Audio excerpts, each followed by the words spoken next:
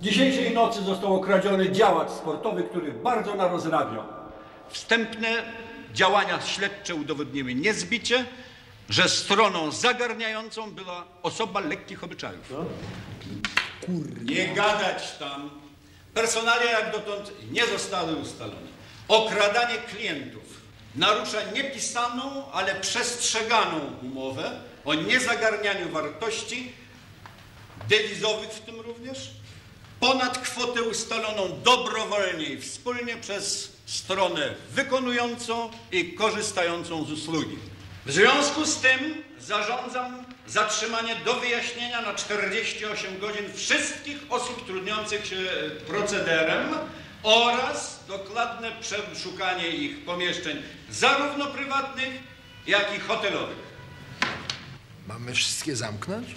Chodzi o nauczkę. Odpowiednio potraktowane same znajdą winną, zaoszczędzając nam pracy i czasu niezbędnego do innych ważniejszych celów. Sprawa jest wagi państwowej. Zalecam więc jak najdalej idącą dyskrecję. Są jeszcze jakieś pytania? Nie widzę, nie słyszę, a zatem do roboty.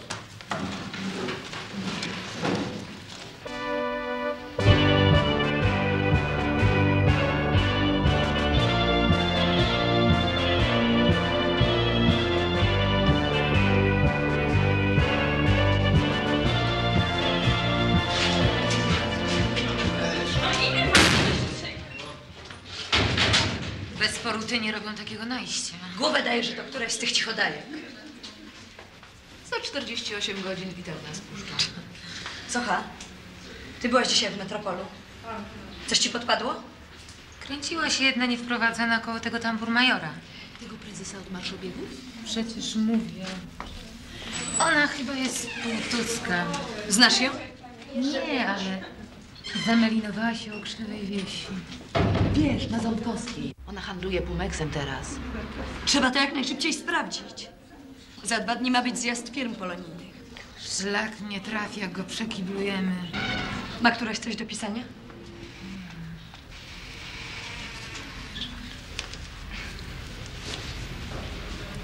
Kartka.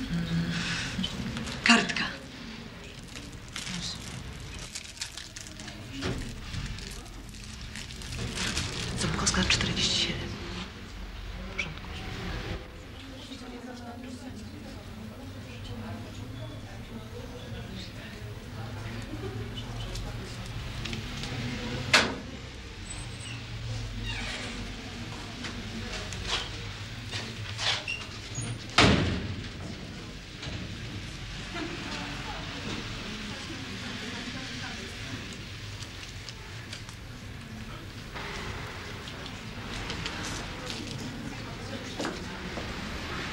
Pani Grzelczakowa.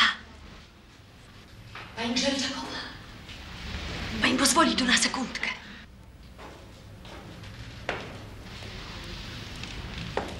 Jest interes do zrobienia.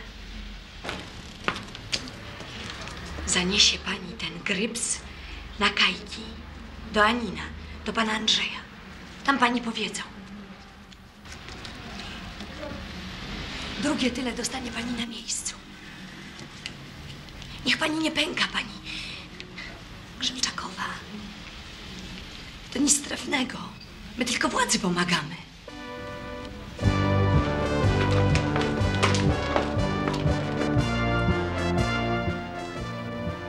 Taka sprawa. No dobrze, już dobrze. Szybko, bierz taksówkę i szybko, ale migiem.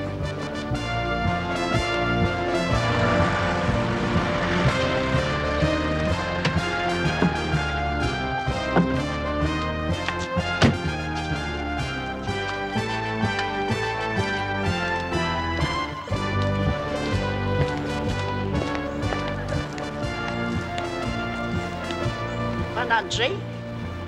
Tak, Mam coś dla pana.